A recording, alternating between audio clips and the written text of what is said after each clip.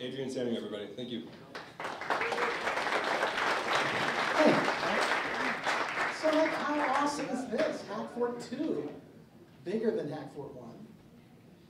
I kind of miss the shrine, you know, like the, that similar thing, but, uh, but it's really great. And, and this is, uh, oh, the lighting is going down, because I was going to say, like, this lighting is, it's like being at Worldwide Developers Conference or something. You can't see, I couldn't see anybody.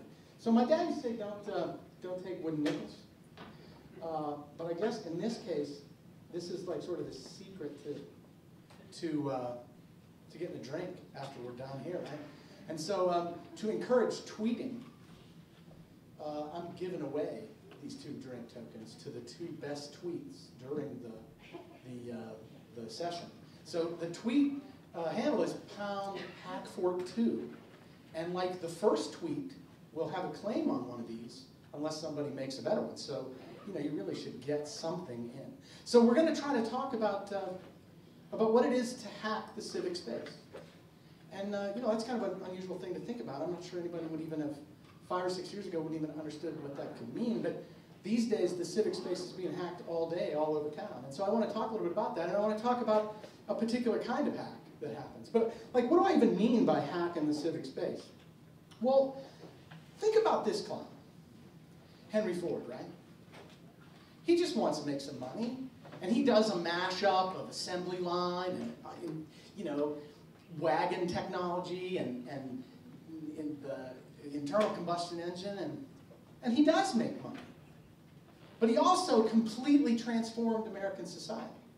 Right? He unleashed this whole thing that, you know, I'm not sure, but if it was put to a vote in 1920, hey, how about if we just transform America, put put roads everywhere. People will spend hours getting to work and hours getting home. We'll like burn up all the oil. I mean, I'm not sure people would have gone, yeah, yeah, okay, sure, sign me up, put me down for a Model T. I'm not sure that that would have happened had people known what the total consequence of the hack would be.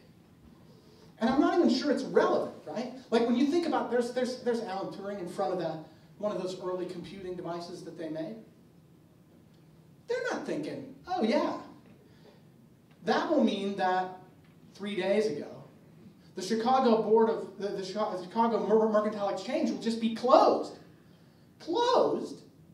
You mean temporarily? Was there like a terrorist attack? No, no, no. Just shut. We don't need it anymore. What are you talking about? How do we decide commodities prices? Oh, well, computers do that now. Like, think about that just for a minute, right? Because one by one by one by one by one, all the things people used to do, computers do now. And this trading thing, here, you, come on right here.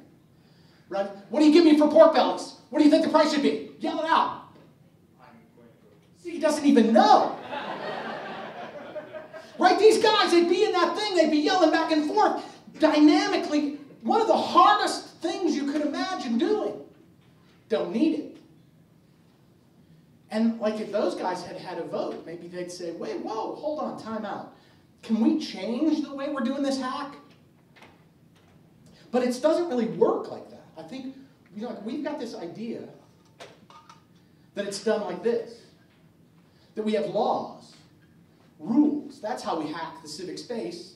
We like vote on it. We introduce legislation and we discuss it, and then we pretty much never agree on anything and don't, don't do anything. That's what we think of as the way that our civic space is hacked. But in fact, I submit to you that this is really the way your civic space is hacked.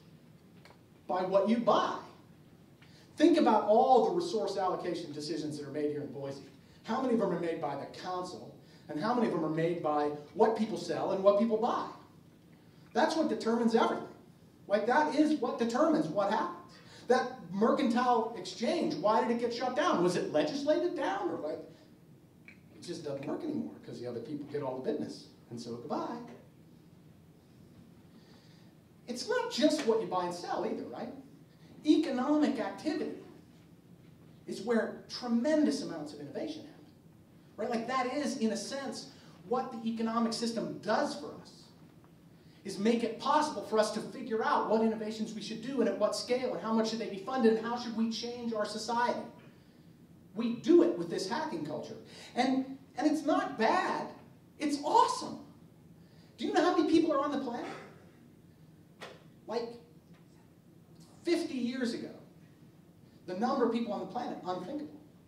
Why can we sustain people at this level? How can we even manage it? Because of enormous technological innovations that we've been doing for the past thousand years, based on this idea that, well, however we do it now, there's a way to do it better. Not just a little better, but a lot better. And devil take the hindmost in terms of what happens when those changes come. That's just how we roll. There's a kind of notion that it's like inevitable, right?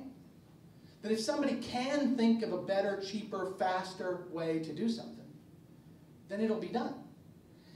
They might be successful at it, a different company might be successful at it, there'll be a competition around it, but sooner or later, if it can be done, it will be done.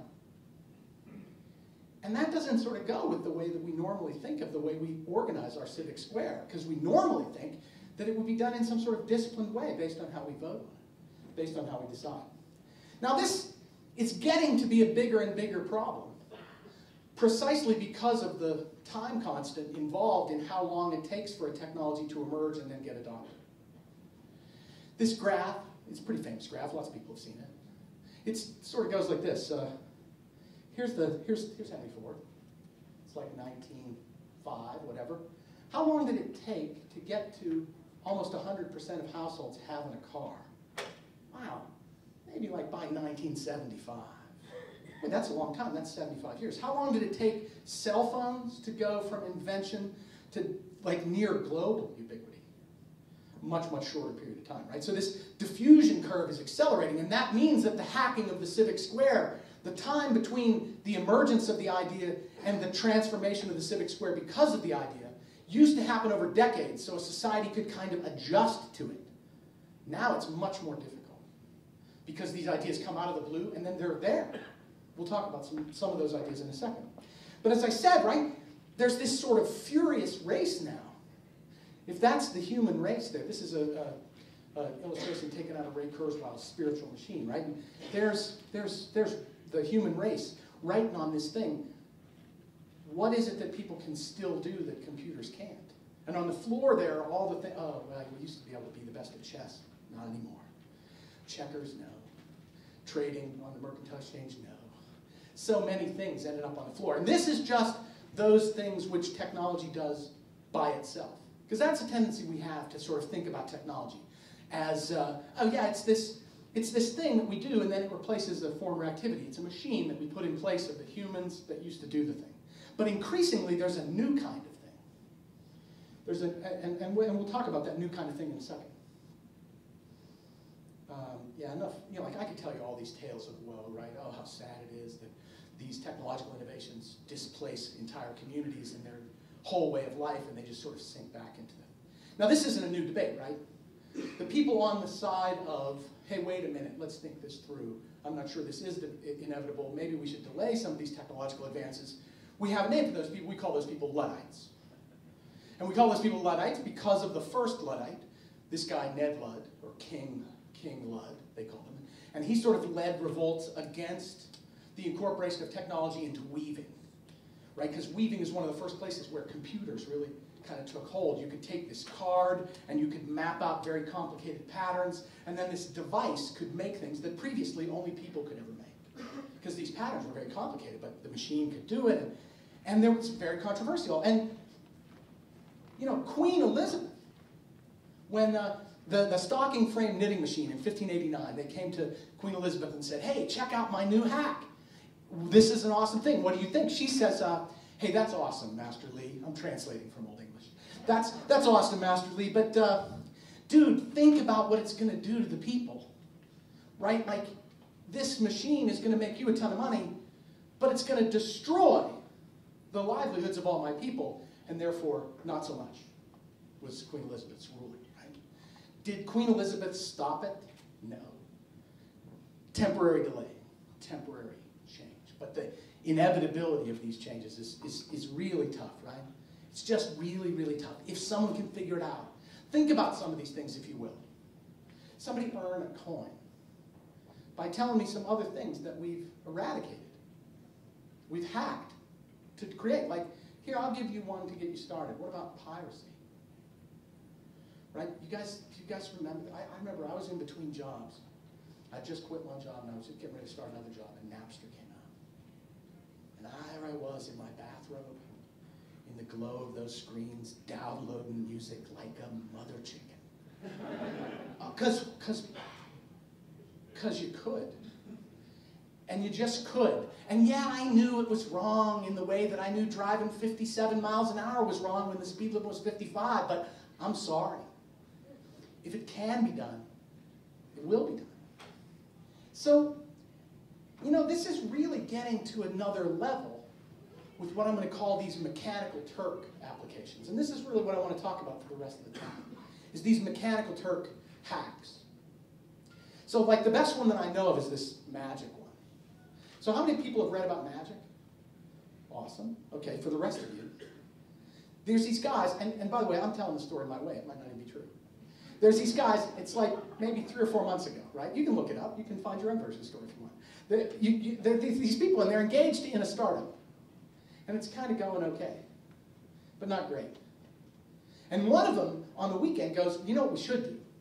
The startup we got's done. Now, every one of you who's been involved in a hack or a startup knows this happens someplace in the, it's starting to get hard, it's starting to get, yeah, the, the one we're doing now is done, let's start a different one. And so they came up with an idea on the weekend. They said, you know what we should do is, you should just be able to text us a query for anything. And we'll just get it. And then we'll pay, and then we'll take a little piece out of the transaction. So somebody texts you, I need a tiger by 1130. We'll figure out how to get the tiger, deliver it, and take a little piece off the top. Because what can't you get on the internet? And so, you know, a lot of our requests were just fulfilled through Amazon for people who are too stupid to do the shopping. And so they come up with this idea and they put up a web page, which essentially is their app. And then they just wait to see if anybody comes. And like 10,000 people came in the first weekend. And so what they did was just start getting all their friends and people to come and sit on the other end of this app and figure out how to get whatever it is people came in to say they wanted. And that's a classic Mechanical Turk app. Now, the Mechanical Turk gets its name. How many people are familiar with this term, Mechanical Turk? We're just going to do a little survey. A little better than the number of people familiar with magic, but still not so many.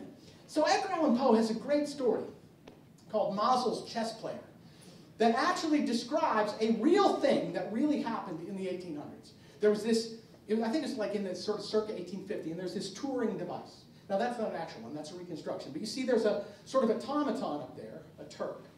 And then inside you see all these gears and all this different stuff, and you look in there and you, like, that's how the mechanical Turk works. And they close it up, and then they find the best chess player in the room to play this guy in chess, and they get their clock cleaned by a thing that's made out of clockwork.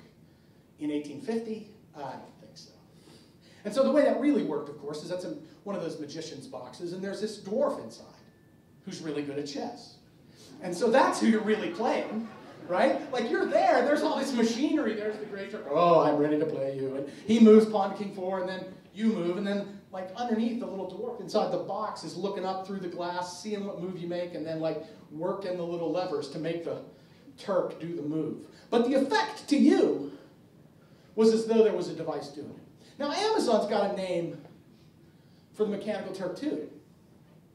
What it is is a big dispatch engine to take tasks that you break up and get people to do them for microtransactions. And so what you can do now, right, is essentially have a programmatic interface to a group full of people. So imagine you guys were all signed up with Mechanical Turk, right? And I'm the guy doing magic. And so I get the SMS queries in, my app parses them out, and then it figures out how to turn them into something called a hit, which is a job for a person to do, and then it puts it up on the board, and everybody who's certified to be able to do that job bids to take it down, and then you do it, and the results come back, and the results are programmatically then part of my app. And so what it is, it's like an API to people. It's like a sweatshop API. And so now when you think about like, hey, how do I solve a really hard problem, a problem where there are certain aspects of it that would just be too hard to get code to do. Yes, get your own little sweatshop to do it. And then overall, you can build an app with a lot of value. Now, I'm making light of this because I'm trying to point out some of the, I don't know, some of the risks inherent in introducing a hack like this on a system where we do work a different way right now. but it is awesome. Like in terms of actually in technology trying to figure out how it is that you're going to solve certain problems that otherwise are. Think about like when Google decided they were going to map every place in the country, right? Like the first time that you hear that they're doing that, you're like, well, I'm going to short Google because that's not going to happen. The country's really big and they're only one country. But of course, what they do is figure out, oh, well, we'll build this car with the thing on the top that like looks at everywhere that it goes and GPS track and yik and yak. It does everything except drive itself. Now, of course, they've made drive itself versions, right? But they can't deploy all those. So what they do is there's a piece of it that a person does. Here, you, just drive around Boise. Let me know when you're done. And then they just do that thousands of times over, and bang, you've got a system to map the entire country that uses human intelligence, but in this really narrow way. And not in a way where the human is in charge, but in the way where a human is a cog in a very big operation. Now you might think like, oh, this is, uh, this is not real. People aren't really doing this. Now I can see why in Boise you might think that. Because, um, so I was in the airport today, thinking I might uh, take my favorite taxi service, and I find out, isn't this awesome? Uber basically has a campaign against your mayor and your city council to every one of us who comes in from out of town and expects an Uber car to pick them up. And they go, oh, don't blame us, blame the mayor of Boise. Now, Uber, how many people know what Uber is? Just again, right? Good. Here, we're going to talk about Uber to analyze it as one of these Mechanical Turk apps. Oh, sorry. Oh, hey, and I didn't do this on purpose. I'm telling you, I just, all right. Oh, no, no, no, hold on, hold on. Come on, anything for the, anything for the council. There we go. and like, look at this, even down here. Tell City of Boise and their why Boise needs Uber. They're all over this. How do you fight them? Resistance is futile. Anyway, what do they actually do, right? Like, perfectly good system here in Boise for getting people to and from the airport. It's worked for a really long time. How hard is that? Like, that's a thing that needs to be disrupted? And also, like, how would you disrupt it? You know, like now you can see easy how you disrupt it because Uber figured it out. But before that, it didn't seem, wow, here's this network it isn't even a network, right? Because regionally it's all different. Every place has their own stuff. There's these people providing rides as taxi services, and there's these people doing it as limousines, and there's gypsy cabs, and there's this and that. How would you, like, you can see why they call it Uber. Oh, yeah, yeah. However, all that was done. Stupid. All there is is an app. Now, if you haven't used this app, you should, because you'd never want to take another way of getting a car in your life ever. Because it's awesome. It's like being Batman. You like get off the plane and go, I'm here. And the thing goes, well, it's going to cost you 11 bucks to get to where you want to go. Or 20 bucks or 30, whatever it's going to cost. And then you go, well, uh, can what, I'd like to, yeah, get, bring him. Uh, five minutes, here's the guy. You watch him like the Joker coming over to you. Then you get in the car. You drive away. He knows where to go. You watch him while he's doing it because you both have the same map and you're sharing it till you get to the place you get. And then what do you do? You get out of the car and you leave. That's it. Well, how does he get paid? I don't know. That's mechanical Turk business. so somebody, like, think about it as an app. It's really impressive in one way. Like, wow, the Batman part where you know where the cars But you know how that trick is done. That's Google Maps, whatever. Nate Wilkin whip you that up in no time. He's available right there in the third row. he can he can bolt Google Google Maps into your API all day long, and then all that stuff that got done just is part of your app. So that's nothing. Well, like how hard is it to go? I want to ride. Well, the user interface for that's not so tough, and the database for it isn't that tough either. And the dispatching of that to people who are looking to give you a ride, that's not very hard. And figuring out how far away you are and keep it, that's trivial. That app, literally, if we did it as a hack, we would have gotten pretty close in a weekend. Because the number of things you do in this app very narrow. And then you release this app together with the stones to fight any organization that dares oppose you, including the City Council of Boise. And when you do that, you suddenly have a valuation that's greater than Hertz. Now think about that for a minute. Hertz. How old is Hertz? Hertz. What do they own? Every airport, thousands of cars, hundreds of thousands of employees. These guys have like three servers in that app, and they're worth $40 billion. Why? Because they built this Mechanical Turk network. And that Mechanical Turk network generated itself. You make a mechanism by which people can join it, both as riders and as drivers, and the rest of it is trivial. Now, I don't mean to make it like way trivial, right? But I see the hackers in the room going, yeah, damn it, why didn't I think of that? now, the thing is, right, that's as complicated as that transaction really is.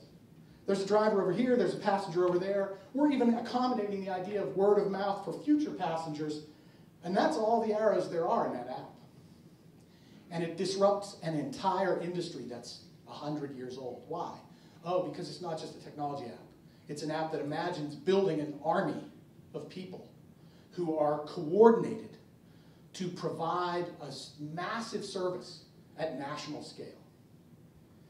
That's the sort of protocol. That's as complicated as it was. And like, look at each one. Riders hail cars on the side of the road if you can find one, if the driver has peripheral vision, if the driver decides to stop. on the other hand, one click on your smartphone, here comes the car, you get status about when it'll arrive, you even get a picture of the driver and can have a little conversation with him before he gets there. Now, which way is better? It's not even hard. And the number of transactions is so small that it's possible to do it really, really well. now, what I'm submitting to you is you, you're looking for a hack. Mechanical Turk stuff is where the, where the action is. The only problem is, when you make a hack like this and raise up an army like this, you're going to win, but somebody's going to lose. Like when you build Uber, if I have a taxi medallion in New York City, it used to be worth millions of dollars. And all of a sudden, the market in taxi medallions has plummeted. You can't, you can't get one to buy it. You can't get somebody to buy one, almost at any price. Because, you know, that million dollars is now in Uber's pocket instead of your pocket. But we didn't vote on that. Who's like, whoa, that's like a massive resource realignment. How did this, thank God that city of Boise is putting a stop to this Uber thing before it gets out of control. But like, obviously, there's no resistance. It's futile. What? You're going to be the only place you can't hail an Uber cab?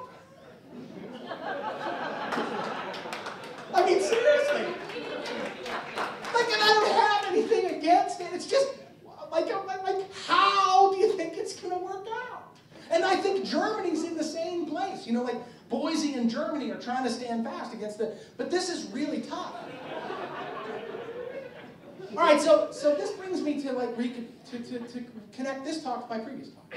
So last year I came to you and talked to you about a hack that I want to do. Now it's not fair to call it a hack because it's not a weekend thing, but it is in another way a hack because it's a giant mashup to try to build one of these one of these uh, one of these uh, mechanical turk kind of apps. So uh, let me just give a little background for those of you who weren't here last time. Um, the idea is to build the Young Ladies Illustrated Primer. The Young Ladies Illustrated Primer is this thing comes out of Neal Stephenson's Diamond Age. And it's an educational technology that he described in like the, I want to say this book came out in like, can somebody find out when it came out and tweet it for me? That might be worth a coin. When did Diamond Age come out? Like you, you didn't used to be able to do this kind of stuff, but now everybody knows everything. All right, so um, it's like in the 90s, maybe it's 2000s. And it's a device that you have, it looks remarkably like an iPad, though they didn't know that then. And, and what it does is provide you with a learning experience that's immersive. It lasts a really, really long time. This device bonds with you and it watches your habits and it watches your behavior. Thank you very much, 1995. That's, that's fantastic. Putting, putting out of business all the research librarians in the country. So, so um, uh, uh, uh, uh I'm sorry, we were talking about something. What was it? Oh, yeah. Um, so this primer, right? Oh, no, no, you don't get it till the end. Because, like, you know who's going to decide? This is my man. Uh, uh, uh, your name is Jack. No, no, hold on. We're going to come over and meet him. To tell you what my name was. Jeff. Jeff. Jeff. Last name Chu. Chu. Yeah, so Jeff Chu is the one who's going to decide who gets the coins. That's how it's going to go. All right, so um, yeah, so we're coming exactly. So you might want to tweet about Jeff, how tall he is. He's so handsome. How could you forget his name? Well, you know, the stress of the lights. That's what I'm going to blame it on. Okay, so so the primer, right? This device, it bonds to you. It provides you with this education. It tracks what you do. It personalizes your education as a result. It does one other thing that's real mechanical turkey. It knows when it can't help you anymore. And when it can't help you anymore, it summons a human to step into the context that it's already in and has that human help you. These people are called ractors. It's really cool. Now, obviously, building that thing, that's a moonshot thing. That'd be really hard to build. Because, you know, like you'd need the Unreal Engine and you'd need to make all these really cool immersive environments. And, you know, like, it, not getting there from here. But we could begin with the core of the idea. So if you take the primer and you roll it down the hill, what you're trying to do is redesign that. Right? Like, and particularly in math, you're going to try to redesign that. Instead of trying to do math that way, like, okay, today, class, we're all going to learn about synthetic division. How many of you already know synthetic division? Hands up, not so many. Oh, yeah? Here, please explain. Oh, really? That's what I thought. No one knows synthetic division. Okay, so, so thanks for being a good sport. Okay, so so here's the thing, right? Everybody in this room has math deficits they don't know about. Because every one of you went through the same thing. They taught you math, you went as fast as you could, you got good grades on some tests, you got weaker grades on other tests, and every one of the weaker grades represents an opportunity for a cavity in your math knowledge. And then next year and year after that, those cavities, they just grow and they rot out your mathematical teeth. what you should do, right, right now, is go up and register with the Khan Academy and work on the world of math to fix all your teeth. You could go up there and it would, it would poll you on all the stuff that you know and don't know, and it would help you identify where your math cavities are, and then you could just really spend all your time and energy working on that, fixing your mathematical teeth. Don't see a lot of people doing that. At ASU, you know, we've been working on this for a while. And what we think is important is some people could do it that way, and they are doing it that way. Khan's got like 11 million users a month going up there and filling in their mathematical cavities. They've served up 3 billion math problems in a year and a half, and that's like McDonald's burger territory. We're talking serious numbers, right? And so some people are doing it. But most people need the support of a group of people to help. And the software, it runs out, right? Like there's a place at which it doesn't know what to do. And so what you need then is a human. A human will stand behind the other thing, step in and, and try to help that. And so past year at ASU, we've been working on that. Now you see the mechanical Turk connection right away, right? There are people who have questions about mathematics. And there are other people, lots of people, who know the answer. It used to be there weren't lots of people. There was like your math teacher. In my town, his name was Mr. Wernerak. He was a German immigrant. He just really had it in for my sister. no, I mean, he did. Like my sister, she just, she wasn't very good at algebra. And, and he just had it in for her. He was just, he was the only place to get the explanations, and he wasn't giving them to her. And so when I started algebra seven years later, he's like, you are Sandy Sannier's uh, brother? It is impossible. and he would give the explanations to me. But he was the only guy in our town who knew anything about algebra. But these days, the opportunity to pair up the people who know about a thing with people who have questions about a thing. Oh man, can we do that till the cows come home, right? Till the cows come home. And so this combination of internet scale math application with, yeah, that really plays up here in Iowa. I don't know. Hey, but the president gave a shout out to this, right? So that's pretty cool. Anyway, um, you know, the combination of this app is sort of this app that is the, the Uber of, uh, of math, right? Has most of the answers, has ways to explain it, has hints, problems, ways you can try it, tests, a lot of the things that a teacher used to do. And then there comes this moment where you just don't know what to do, and if we could get a human to answer your question in that, well then, uh, what do we need math teachers for? Like, why do we need taxi drivers? We'll just use it a different way. We'll, like, deprofessionalize. This. We'll get all kinds of people all around the world know the answers to very complicated problems. You can provide them in videos, not unlike Sal Khan's videos, that people find very useful for learning. Wow. that's really how people are going to learn math. Yeah, like you can imagine a little coaching app like this. Or a little coaching app. Oh. Can you run that thing? All right, uh, a little coaching app like this. That, you know, like when you had a question, it would connect you with your coach, and you could talk to them about the problem and ask them. And you know what we found? We've done some tests. People do really well when they learn this way, especially when you compare it to okay, class. Now we're all going to learn synthetic division. Whether or not any of you have the prerequisites to understand how to do it, today's the day when we're doing it. I'm explaining it. Did you get it or not? We give you the test, and then some of you get an A or B, and then after that, everybody else will never understand synthetic division ever again. Very different than that. So what I'm suggesting is, take that and scale it up to like Google scale. I just want you to imagine, what if we had the Uber of math education? Like we literally had a device. You could go up and ask it. It. It could sort of help you build a study plan for what it is you wanted to learn. And then you could go up and ask it anything. And sometimes you'd be getting answers from a machine, and other times you'd be getting answers from a person. You wouldn't even really be able to tell the difference, but the important thing is you're getting the answer. And in this way, you just keep advancing. Now, let's suppose a thing like that existed. On the one hand, that sounds like a really awesome thing. Like, if I told you, hey, what if we, I just invented a microwave that you just showed a picture of what you want, push a button, and it comes out. Wow, awesome. Who doesn't want that? Everybody who makes anything anywhere. right? Like, so, you know, like this idea that Uber's great. Yeah, Uber is great. For me, the buyer. But if this thing comes out, what does it do to teachers? So that's the question that I want to leave you. Is what does it do to teachers? Now I have some ideas and I'd like to get them out in conversation. But I'd also like to hear from you guys about this notion. If we start to restructure ourselves around these mechanical Turk inventions, what does it do to the way we interact? And does it erode some of the, some of the institutions that we really need? So like, we're going to talk about this until you're bored. Or until we all want to go drink. So let me have some idea that there's at least one person out there that has a question. Otherwise, I'm gonna, yeah, all right, so good. So we're gonna get a microphone back to you while my, uh, while my pal, Jeff Chu, comes on, come up, comes on up here and we have like one of these actor studio conversations. So here we are in the actor studio. Do we have a, I have this mic. Send it around like that. Hang on, I'll do it. Here we go. Coming down this way. So the question I have is, you say, what happens when we start to crumble these um, systems that we have in place that we need? Do we really need them? If we can replace them with some kind of technology, do we really need them? I mean, did we really need cab service that isn't Uber?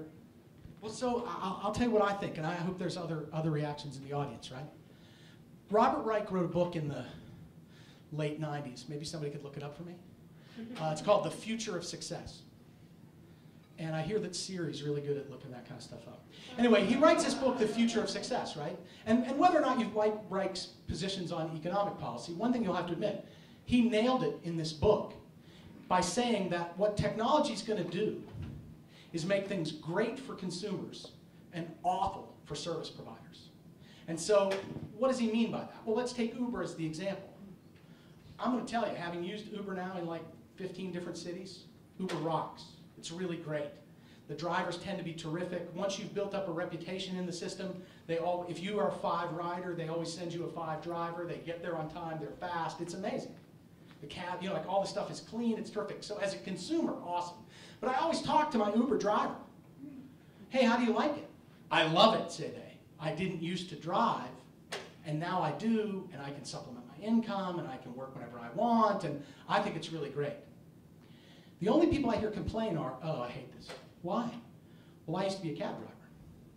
And when I was a cab driver, I had protections, I had all these, I, I, I had a certain safety in the way that I was doing it. I had to have insurances, and I had to have registration, and I had to be checked out. And the Uber drivers, they don't have to do any of that stuff.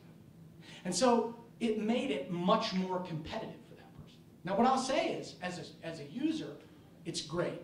And as a provider, if you're like a really good hustler, right, then it too is great. but it does disrupt the position that the other guy held. You might say, well, hell, devil take the hindmost. Yeah, but till you're hindmost. And then you'll be looking for protection, and on that day you won't get it. Now, I'm not up here selling the idea that it needs to be restricted because I don't believe it can be. But what I'm saying is, as a society, we're going to have to deal with the idea that we can just disrupt entire professions in less than five years.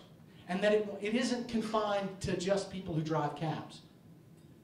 So, uh, hold on, we got to get a mic to you. Wait just a second, the Mechanical Turk is on its way. He's processing the hit. And he hands it off to the right person. Rating five. He gets a, be like next time, more likely to get the next mic. Yes, sir. So my thought on this is that any position that could be replaced by a machine would be. So context and experience and, and analysis are the things that will actually exist beyond this. Um, talking to a guy just a little uh, few days ago where he was a uh, he was doing some type of uh, mechanical job and then decided to take up truck driving. And my first thought was, oh shoot, you know, here we're going to have autonomous vehicles, and, and the trucks are going to go first because they're expensive and Yeah. risky, right? So it's a matter of, uh, um, as I have kids and I'm raising them up, making sure that they are looking at professions where they, that requires analysis that can't be replaced by machines, which will never, that will never solve. Okay, so I, I'm not gonna, you know, because it, to make a horse race, I'm gonna just completely disagree with you. So I, on the one hand, I do agree with you. Like I tell my own kids, hey, you wanna try to pick something that it's hard for computers to disrupt. You picked analysis, I'll throw back Watson. I don't know if you've seen how fast Watson is moving since it won the Jeopardy challenge against the smartest Jeopardy player in the earth, Ken Jennings, right? Mopped the floor with Ken, and now it's turned its, uh, its, you know, world domination brain to two subjects: legal analysis and medical analysis. And what they're doing is pumping it full of every case in case law, and then they're on the other hand they're pumping it full of you know, every diagnostic piece of information. Like back in the days in the 80s when I was studying artificial intelligence, we talked about the idea of trying to make expert systems by being able to mine the expertise. But what they found is those were too brittle. Well, in this generation, all you do is stuff the facts in, and then Watson sorts them out. They say that Watson's going to have an enormous impact on the value of legal research.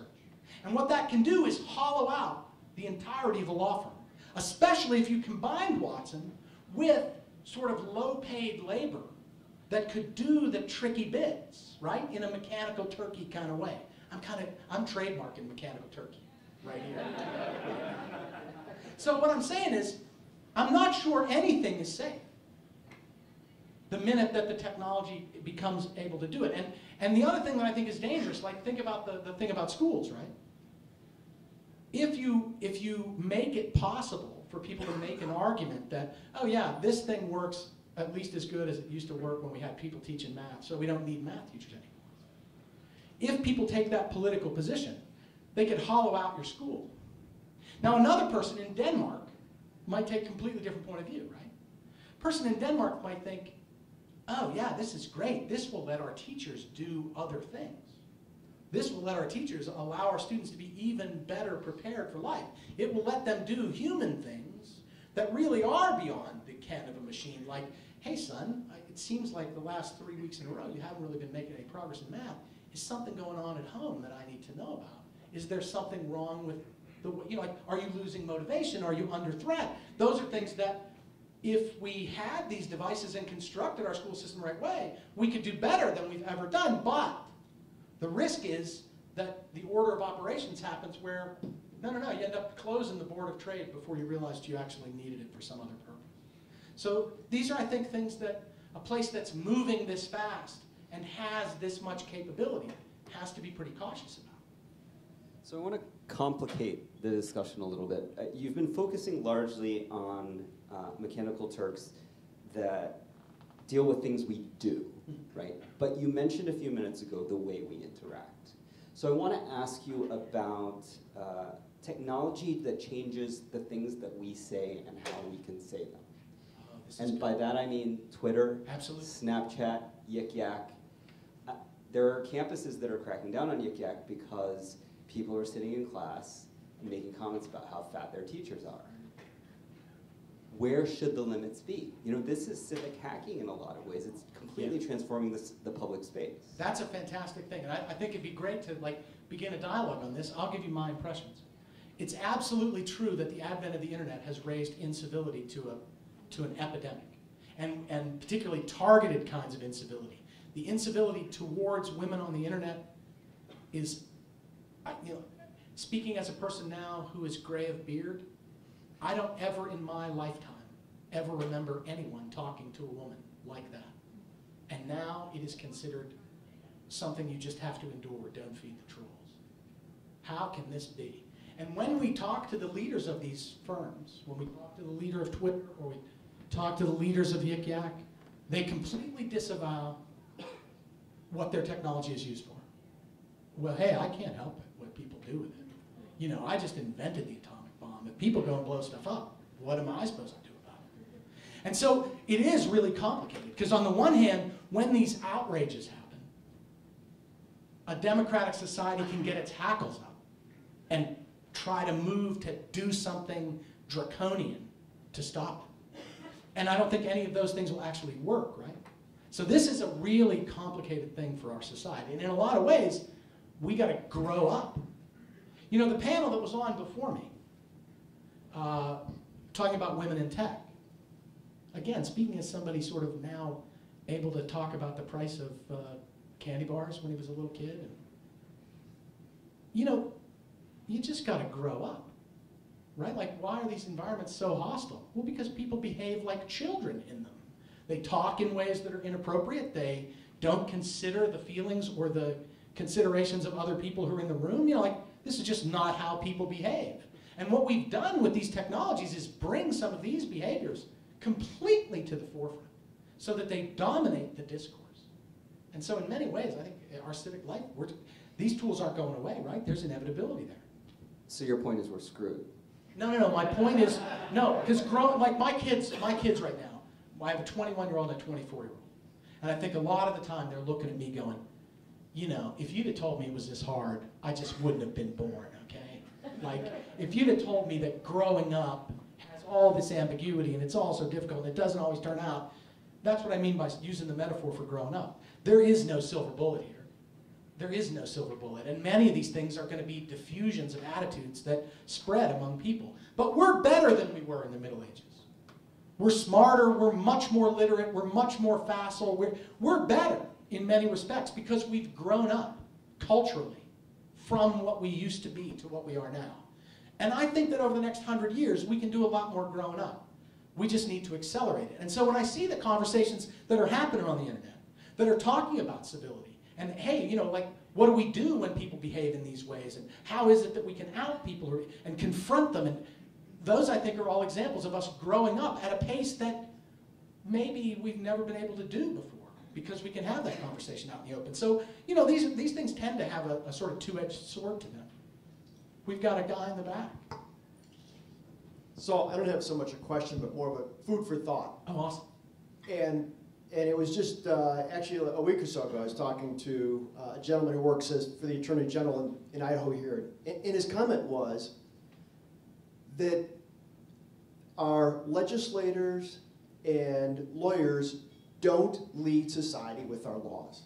They said we follow. We just follow the people. And so your whole talk has been technology is revolutionizing how we behave, how we talk, how we do things.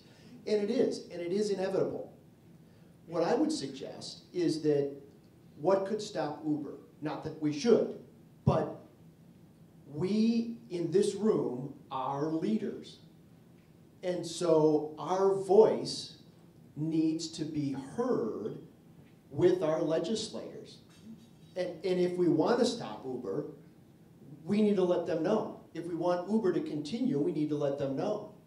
What we need to do is parse out the good from the technological revolution and try and prevent a little bit of the unintended consequences. And it's this room, okay? It's not the legislators. They don't understand how to code an HTML, okay? They don't even understand or are on Yik Yak. They don't understand this change. They need to hear about it. And they need to hear about it from you because only the people in this room really understand it. And so the next revolution is not, I'm a mechanical engineer, right? So the next revolution is not coming from mechanical engineering, okay? It's coming from software. And you guys are the software people. So you guys have a very special place to guide the 21st and 22nd century. So let me reinforce that point a little bit. How many of you participated, even in a small way, maybe through social media, in communicating your position on net neutrality in some public way? And what happened? Right? Like it looked for sure like the fix was in and we were all screwed. And those who knew how the internet grew up and what it needed to be were going to be subjugated to corporate interests. It totally looked like it was baked. And then it wasn't. Because these very tools that we're talking about raised such a hue and cry that it became apparent that the right thing to do was to enforce net neutrality. And, and at least for the moment, we're moving in that direction. And that's an example of what you're describing. And so it's absolutely true that this becomes a big piece of the discourse. But it's not an automatic that we know exactly what to do. Because, like, you know, we're talking about Uber, it's relatively innocuous. But who knows where the next mechanical turkey comes from, and what does it do to the, to the economic sector that it changes? Let me throw another one at you. I, I've been thinking about this for a little while. So, UC Berkeley, a group of researchers, has come up with a pretty reliable way to alter the human genome, the germline cells that can be passed on to the next generation, not just any part of the genome, right? This is inheritable stuff. The very researchers who, researchers who have come up with it have said there should be a moratorium on its use. That's fine in the US, but we don't control what happens in China, Singapore, Korea, countries that have different standards of ethics. So when you see situations like this where, where the technology could have unforeseen circumstances, what do you do about that? Should we not be pursuing technological advances? Should we not be using machines to do these things that we don't actually fully understand? Okay, so I'm going to take a really outrageous position. I'm going to say that. Yeah, how many of you are familiar with Richard Dawkins and the selfish gene? Right. So the selfish gene idea is this notion that while we tend to think about biology as organism centric, because we're organisms and it seems like the world is made up of organisms, and genes just kind of are the code that makes a person. The, the Richard Dawkins perspective is no, no, no. You're a side effect that a gene needs in order to get itself into the next generation. You are what he calls a survival vehicle for genes to be able to propagate. And that the real thing that's happening is the genes propagating from one generation to the next. You are just some sort of temporary artifact that, that houses them and allows them to be evaluated. You know, to see if they like lead to better survival or lesser survival so that the gene pool can change over time. Now what I'm going to contend is, in the same way that like looking at biology from that point of view makes you think about it in a different way, looking about, at technology not as our servant, but as a kind of sociological phenomenon that runs on top of us. The science and the technology that is advancing and that lasts longer than any one human life is running on a distributed computing network that is us. And we think that we control it. But all you have to do is take a question like this and you realize, oh, you don't control jack. Because the minute an idea like that emerges, it will find devices to run on. And if it starts to be successful, it will find more devices to run on. And a group of devices, say under the leadership of the Boise City Council, might say, we refuse to run this. Furthermore, we won't trade with anyone who does. And that might be enough pressure, enough selection pressure to kill that idea. Unless that idea is worth something, like money. Because if it is, then it'll find lots of other places to run on. And those places might be here or there or somewhere else. We have to start to understand this thing like a phenomenon, not like a human, like we think of human activity like it's regulatable. But when these things are running on all these people, if you don't want to do it, it's like being the guy that doesn't want to work on Saturday Like, I get it. We shouldn't work on Saturday. Yes, none of us should work on Saturday. We're all not going to work on Saturday. But see, if they all work on Saturday, you're screwed. You just die, and they win. And so there's a lot of things like that in our society today that we are under, that we're thinking about as though they're choices we get to make. And what's really happening is they're pressures by an organism that's running on top. Told you it was kind of nutty. This is super depressing, and I'm keeping all the tokens because I need a drink. Um, Wait a minute, hold on, time, time, time out, time out. What do you mean super depressing? Do you see this device right here? This device is everything that you could get technologically in the 1960s. Like it plays movies for you, it makes games for you, it, it delivers the paper for you, it can control the stuff in your house, it can, it can bring goods to your home. Like, seriously, you just go, like a tiger. And the next thing you know, it's on the doorstep. What are you talking about? I'm depressed by technology. Please. We got to grow up, though. We got to understand this thing that's running on top of us. And we have to understand better and better, more and more, how do we turn these things to good. But I think that the idea that we can resist them, I think that's like wishing. questions? You're not asking questions. Surely we should be drinking by now. Okay, there's one part of the argument you have. Can you wait for the mic, please? Hold on, the mic's coming to you. There's one part of the argument you haven't addressed, and that's access to technology and who has access to it. And when you talk about genetics, okay, it's going to be the rich, and we could go into a very nightmarish scenario. Hey, dude, are you kidding? Like, have you ever seen these movies where, like, oh, the rich people learn how to live forever? And right, and like, they're spending all this money and they can get to be five, six hundred years old, and the rest of us have to live these brutal, mortal lives in support of the. Like, I, I love those movies.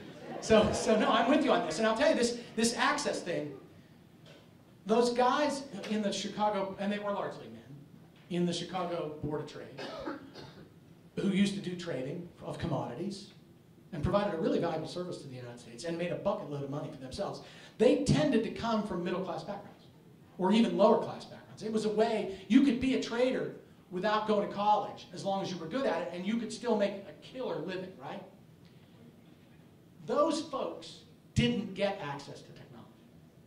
The access to the technology went to a different way of doing it at a different level of the firm, and then all of a sudden those people are just out. So like you spent 20 years doing this and now like you're out.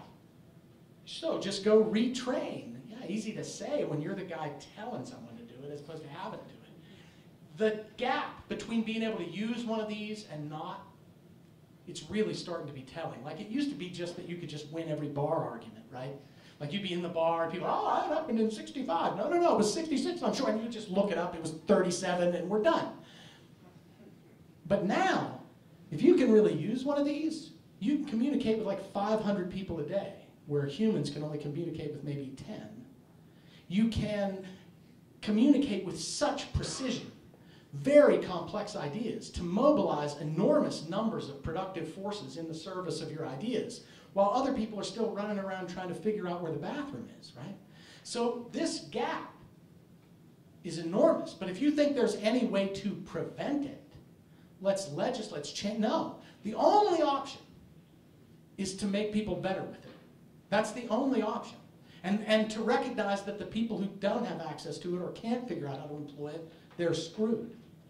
And so we need to get better at figuring that out. But absolutely, so many people are talking about, oh yeah, we need to ban this, and we need to prevent that, and we need to stop this. Hey, if wishes were horses, beggars would ride. All you do then is make sure that other people get to do those things.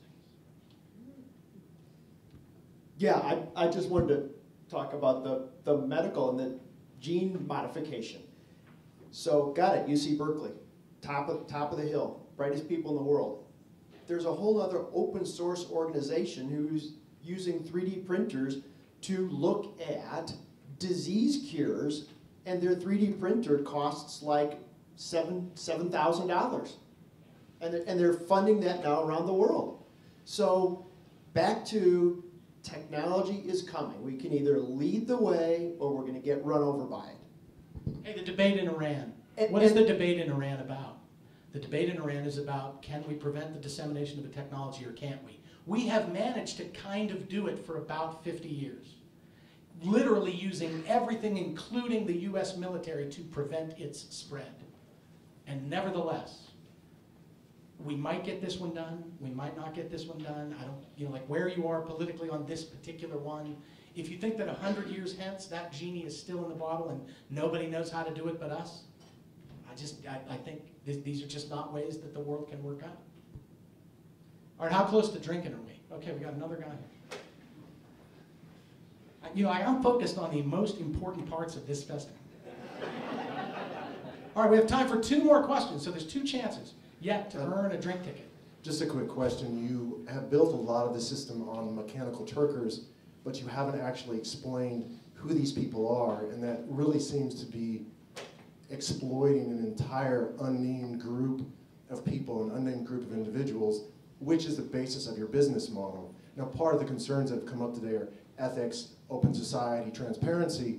Well, if your economic system is just on continued exploitation of the underprivileged, how are you actually contributing something positive and not just supporting like first world mathematics learning? Yeah, no, absolutely. It's a, it's a fair question. Do you have a model perhaps for a more fair or equitable pay-based system for something like the mechanical You know, I would say that we don't, right? Because we're still very much in the experimental phase. And so we're currently working with, uh, with undergraduates at the university. But let's talk about what those, what those undergraduates do, right? They're working for somewhere between 10 and $15 an hour, which is a pretty good wage for an undergraduate, and, and they actually get a pretty solid benefit out of doing it. What they do is erode the position of somebody who has a PhD in mathematics, who is used to commanding a much greater amount of money. Now, up until now, none of this has happened, right? We're still very much exploring it, and I'm not sure that my institution will end up doing it at all. What I'm suggesting is that the minute it's possible for it to be done, it will be done. And when it's done, the people who are joining the Mechanical Turk system, they're generally doing it out of economic self-interest. They're like, yeah, I'm really pretty good at mathematics. I'm currently a student studying, you know, pick your university around the country or around the world, and I am able to help a high school student in the US for a micropayment. It absolutely works for me. What it tends to do is erode the people at the top to benefit the people from below. But overall, right, it reduces the amount of money that goes into that economic activity period. And it also can tend to spread it.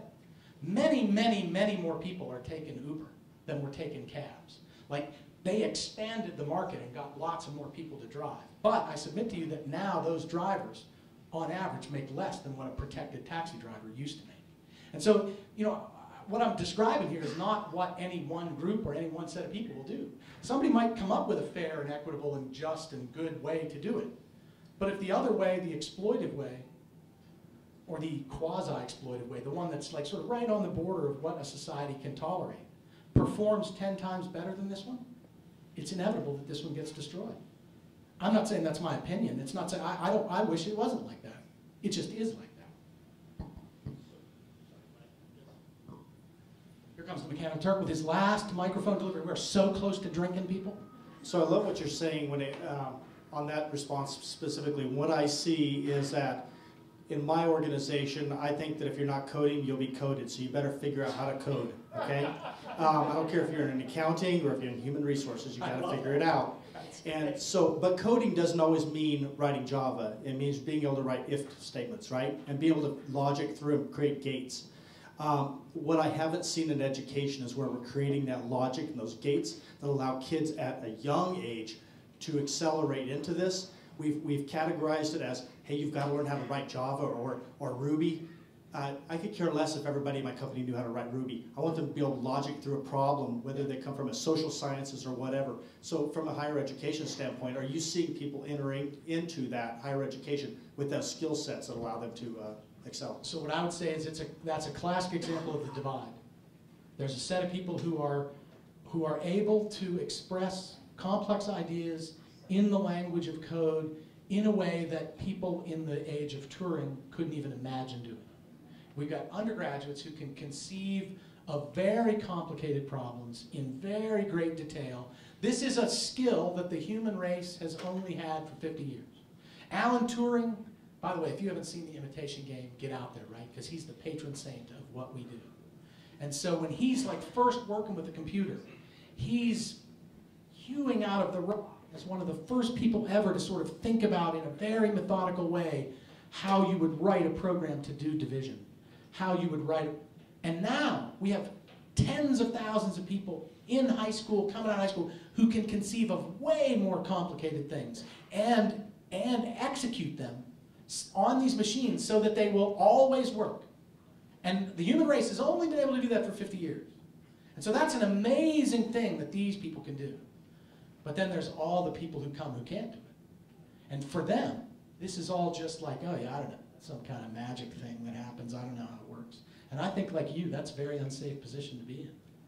That's a very unsafe position to be in. So the, the drive that we got to get everybody sort of literate in this new way of expressing ideas, right? That is, that is as revolutionary in its power as the ability to write down things in text was when it first emerged. We're remaking the Anthropocene with these constructs that we write that are very complicated, but that only a small sector of our society, relatively speaking, understands. And I'm, I'm not sure that that is a good thing going forward. Although, if it's a thing that you can do, it makes you pretty valuable. So good for us. Hey, thanks everybody. Enjoy the rest of the uh, festival. Let's go.